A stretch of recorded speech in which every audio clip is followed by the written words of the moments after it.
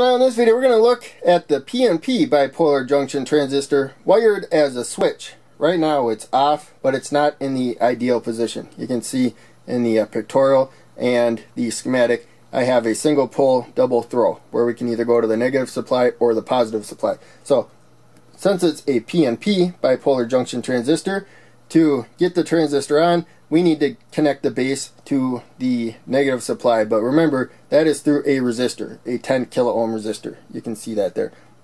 If we go to the positive supply, that makes sure it stays off. That's plenty fine. And that's kind of important. I didn't do that with the NPN bipolar junction transistor, and uh, polarities are opposite with that one. But in any case, you can see if I touch the uh, lead with my finger or any other uh, exposed metal right there, the transistor turns on a little bit. So this is the active region. It's not conducting fully, it's not off fully, it's conducting a bit based on the little bit of current I'm putting through it. It's uh, taking a very small amount of current and letting a lot more current flow through it. Now it's off definitely completely and now it's on.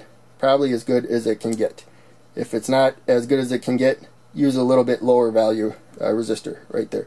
But uh, any case, we will uh, look at the uh, pictorial it's the same layout there. So when you look at the uh, flat side of the 2N3906, the left pin is the emitter, the middle pin is the base, and right pin is the collector. We want the emitter to the positive supply. So you can see that there. We uh, just swivel this around like that, and then the emitter will be on top. That's what we have on the board. So that goes to the positive supply there. Middle pin goes to a resistor, you still want to limit the current, and a ground for the LED to be on, positive 5 for the LED to definitely be off. So we'll look at that over here.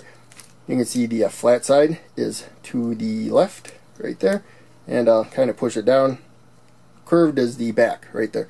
But you can see the top pin there goes to the positive supply, middle pin goes to that 10 kilo ohm resistor, and that jumper that I moved around, and then the uh, collector is down at the bottom emitter, base, collector, going to the LED. You gotta make sure you put the LED in the right way. Long lead the anode towards more positive, short lead the cathode towards more negative. We're using a 220 ohm resistor because 5 volts is uh, not a whole lot for lighting in red LED. They don't get terribly bright, so you want uh, somewhat high current. But uh, in any case, I also have the schematic here. If you are new to schematics, hopefully this helps you understand schematics a little bit better. So ultimately at some point you got to be able to build circuits just from reading schematics. Emitter is where the arrow is. For the PNP bipolar junction transistor like the 2N3906, you can use any PNP bipolar junction transistor as a switch and uh, some of them you may need a lower value resistor there. But in any case, the pin layout may not be the same. If it's uh, 2N, it probably is the same. If it's a bipolar junction transistor, if it's not 2N, good chance it has a different pin layout.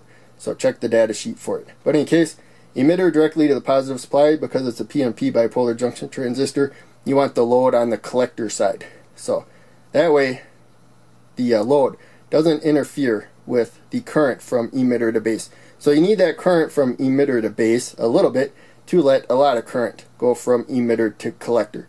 So you don't want to interfere with that at all with the load for a switch circuit. So small current, and then large current. We'll go through the LED and light it up. And then if we go to the positive supply, we got uh, positive 5 volts there. Positive 5 volts there, no current will flow. Uh, they're at an equal voltage.